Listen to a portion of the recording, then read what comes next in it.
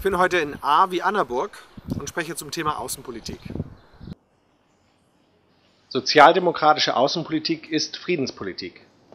Sie verfolgt das Ziel, die sozialdemokratischen Grundsätze von Frieden, Verständigung, Dialog und ziviler Konfliktregelung in konkretes Handeln umzusetzen. Aktuelles Thema ist die Aufklärung möglicher Ausspielungen durch ausländische Geheimdienste. Das betrifft auch unseren Wahlkreis und eventuell sogar Sie persönlich. Die SPD möchte, dass die Bürgerinnen und Bürger und die Unternehmen vor einer unrechtmäßigen Überwachung geschützt werden. Ein weiteres Thema ist die politische Umbruchssituation im arabischen Raum. Ich war letztes Jahr in Kairo und bin Mitglied eines Dialogprogramms von Ägyptern, Tunesiern und Deutschen.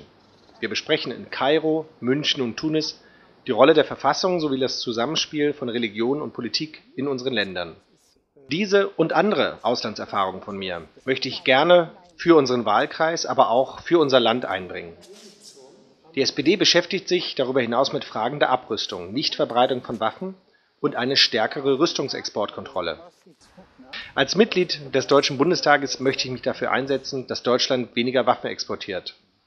Es kann nicht sein und es muss Schluss sein damit, dass wir drittgrößter Waffenexporteur der Welt sind. Wählen Sie mich am 22. September für unsere Region in den Deutschen Bundestag. Wenn Sie möchten, begleiten Sie mich weiterhin durch unseren Wahlkreis und meinen Themen.